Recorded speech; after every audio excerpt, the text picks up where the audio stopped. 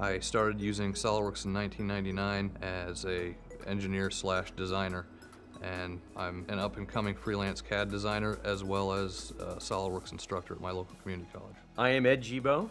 I run the Connecticut SOLIDWORKS user group.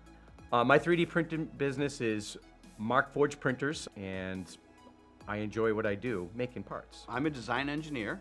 I run a small design engineering firm.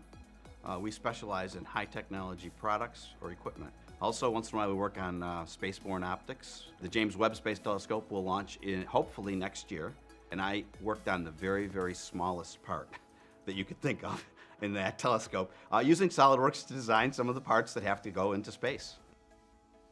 Many industrial suppliers now, they put models of the components online. And because SolidWorks is so popular, almost all of them have SolidWorks models online. But having to go through everybody's different web store is very cumbersome. A lot of times I get what I need, but I have to scatter across five different websites to find the, the part or find somebody to make it. Finding parts is painful because there are so many vendors spread out throughout the world. A lot of the vendors, even though it's a similar part, might use different terminology for the parts.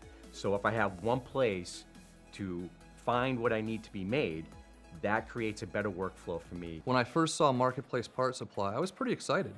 I saw all of these opportunities for the vendors to be in one place, for very similar parts to be in one place. It solves a problem, which is how do you find parts that are available commercially from who knows who and get them into SolidWorks as quickly and painlessly as possible. It's time. Time is valuable to me. This is going to make my workflow seamless. This is going to give me an opportunity to finish projects sooner. But not only a time saver, there might be some uh, insight that you wouldn't get. You might get an idea. The most exciting wow feature for me was dragging the part right from the right pane to my SOLIDWORKS desktop. Marketplace Make is handy as hell.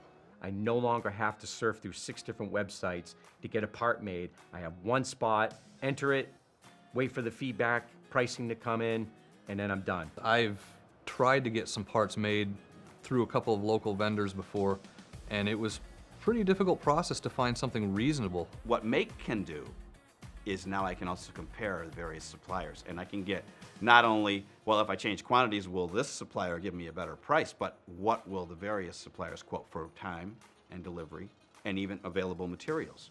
If I'm searching for components that I know the companies are using SolidWorks to produce those parts, I have a higher level of trust for those components. The more products SOLIDWORKS has, the more they keep people in the game, the more opportunities I have.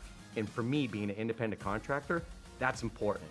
From experience, what I've seen in the last 20 years from SolidWorks is they're at the forefront of moving this technology forward.